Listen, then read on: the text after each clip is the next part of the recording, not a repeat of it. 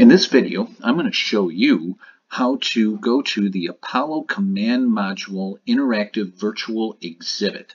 First thing you're going to do is go to Patreon and then go to my page, the Spacecraft Interactive Virtual Museum. Just search for that. You will find this page. Then what you're going to do is you're simply going to scroll down. You'll scroll down past select a membership. You do not have to get a membership to view the information. Although, if you would like to support us by selecting a level, we thank you. Then you're going to scroll past the share and follow. It's free to do that if you would like to do that. And if you would do that, we would really appreciate it. You would keep scrolling down until you get to the interactive virtual exhibit Apollo command module. And what you do is you will click on that image. And when you do, you'll come to the panorama. It is fully functional. You can view 365 degrees and then also you can scroll all the way to the top and then all the way to the bottom other thing that's really amazing about this uh, virtual uh, exhibit is these dots. And these dots um, are hyperlinked. Like this one is to the flight control system.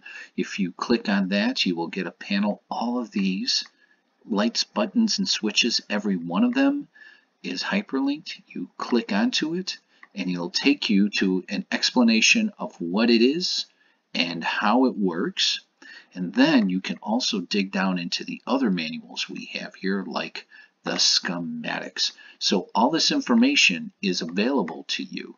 Now the other thing that's really cool about this is the on the buttons I left a bunch of Easter eggs and that's up for you to find. So what you'll have to do is you, you click on or look at some of them. That one's on the Apollo 13 oxygen fan switch. So besides going left, right, up, and down, you can also zoom in and zoom out. And then you can also make the toolbar go away and come back. So what we what I would like you to do is also sign up on the bottom uh, on our channel for YouTube on the bottom here of this video.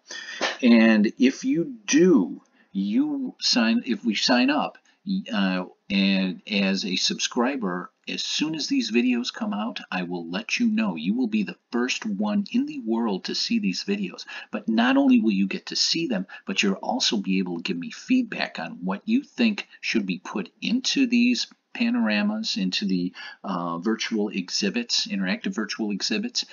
And then um, I will also, if um, yours is chosen by all your peers to be the best comment, I will give you a shout out in these videos. So once, oh, and also this video was made on April 22nd. So if you are viewing this on April 22nd, you are the first person or group of people to see it. Thank you.